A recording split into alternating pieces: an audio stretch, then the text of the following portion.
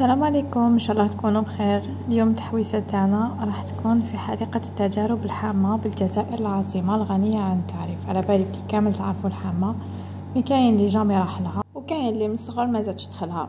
alors الحديقة جاية في قلب الجزائر العاصمة. كما قلت لكم اللي حاب يروح ليها سهلة. كاين localisation تاعها في جوجل. sinon كاين transport حتى ليها. يسقسي برك اللي يجي للعاصمه يدوه حتى للحامة.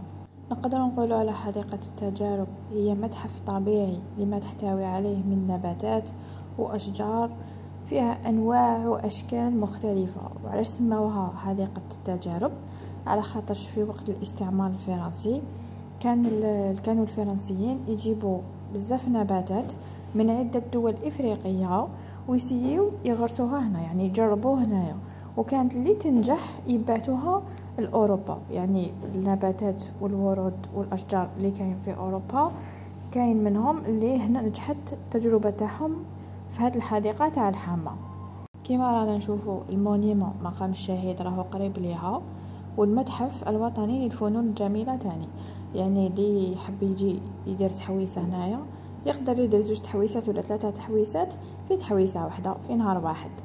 بلا ما ننساو بلي حديقة التجارب هذه ما فيهاش غير ال côté تاع النباتات ولا تاع الغابة فيها حتى حديقة الحيوانات. الدخل عليها بخمسطاش ألف والدراري صغار كامل normalement باطل. ومن بعد تزيدو تخلصو كي تدخلو لحديقة الحيوانات تاني. في حديقة الحيوانات كاين côté تاع الحيوانات المفترسة كيما السباع والنمر والضباع و تاع نو تاع ماشي مفترسة بزاف. راهم ال côté تاع الحيوانات الأخرين وين كاين الجمل والعود والزرافة وكان كاين تمساح نحاوه دوكا دارو في بلاصتو الفلامينغو في هذيك البحيرة دارو فلامينغو وكاين côté فيه غير الطيور غير الطيور وكاين un lac فيه الطيور وكاين côté فيه اكواريوم وفيها الحوت bien sûr كامل الانواع تاع الحوت لا وكاين واحد الفوارة هكذا تاني وين تتصوروا تقدروا تتصوروا تما وفيها الحوت تاني شباب وشنو ما تخلوش برك ولادكم يطلعوا يتصوروا الفوقه فيها خاطر يشوفوكم بلي كاميرا يجوا يخرجوكم. en plus ماشي غير على هادي تاع يجوا يخرجوكم ولا mais حاجة ماشي مليحة الاولاد capable يطيحوا الدراري صغار يطيحوا ولا كاش ما يصالهم بعد الشر ماشي مليحة الدراري صغار. نسيت باش نقول لكم على le côté le plus important هي تاع الشوادى اللي دايرين ambiance في الحامة ملي تدخلوا هما يعيطوا يعيطوا يعيطوا mais الله يستركم ما توكلوهمش ممنوع الأكل. هما راهم يوكلوهم يعرفوا واش يوكلوهم. capable نعطولهم كاش حاجة تضرهم ولا خبز ولا ما لباليش أنا المهم ممنوع راهم تما كاين تاني واحد jardin صغير فيه سلاحف. des fois نلقاو السلاحف هذوك نايضين والسبوعه ماشي نايضين.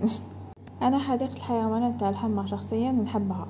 malgré que راني ضد الحيوانات كي نحبسوهم بس ربي خلقهم في الطبيعة. mais des fois نحبو نشوفوهم قدامنا et tout كاين حاجة برك اللي dérange ني هي l'odeur شوية الريحة فايحة. تاع لو كان يسقموها ما على باليش ينقولهم ولا يديروا كاش produit تنقص شوية الريحة. هنا ال côté تاع النعامة. النعامه هذه ما تخلوش ولادكم ولا نتوما ولا تغفلوا على كاش bébé ولا يدخل يدو ولا يقرب ليها parce que تخرج راسها وتنقب. وإذا نقبت كاش واحد بعد الشر راح تعينه ولا راح وجهه. هنا رانا من ال côté تاع السبوعه من زهرنا لقيناهم شوية فاطنين مولفين نلقاوهم كامل راقدين وبعد ما نشوفوهمش كامل. هاد الخطرة راهم فاطنين عندنا زهر نعاودو نولو نحكو شوية على تاريخ هاد الحديقة. نتقفو شوية. alors هاد الحديقة فيها ألفين وخمسمية نوع من الأشجار والنباتات والعمر تاعها مئات السنين. فيها خمسة وعشرين ألف نوع من أشجار النخيل. فيها deux types تاع الحدائق زوج أنواع. وحدة جاية مخدومة على الطابع الفرنسي الكلاسيكي وحدة مخدومة بالطابع البريطاني. فيها المتحف الوطني للفنون الجميلة فيها مطاعم فيها مقاهي كاين مراحيض تانيت. والداخل جاية مقسومه دي غيون كما كاين طريق تاع البومبو طريق تاع الأزهار طريق تاع أشجار النخيل بلا ما ننساو شجرة الطارزون اللي مثلو فيها الفين تاع طارزون. درجة الحرارة داخل الحديقة في الشتاء تكون من 15 درجة حتى ل 25 درجة وفي الصيف توصل حتى ل 38 درجة. كما قلت لكم لأنشأها هو الاستعمار الفرنسي. دونك أقيمت خلال فترة الاستعمار في 1832 أي بعد عامين من الاحتلال. المساحة تاع الحديقة 32 هكتار.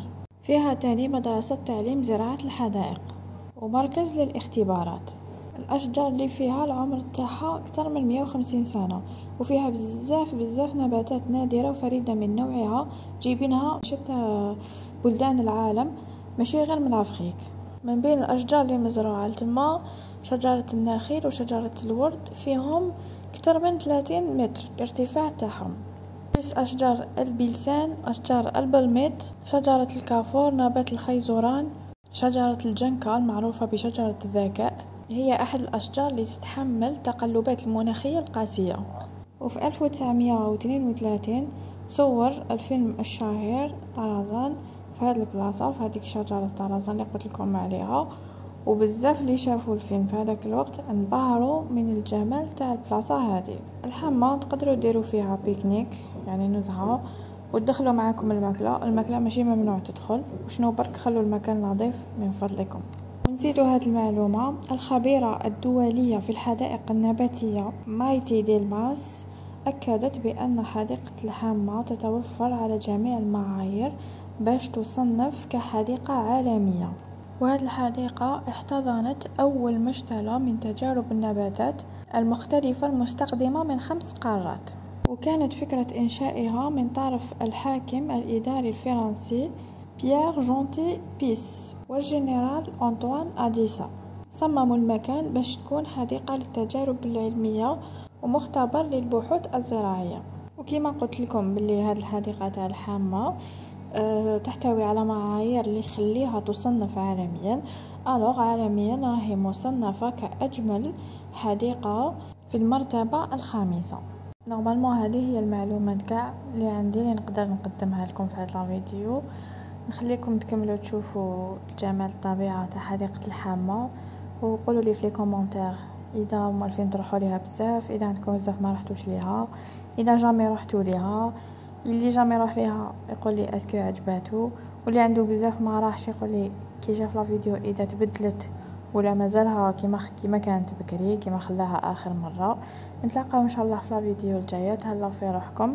وكما قلت لكم كي تروحوا ديروا pique-nique ولا les animaux بالك على دراري صغار وخلوا البلاصة نقية s'il vous plaît.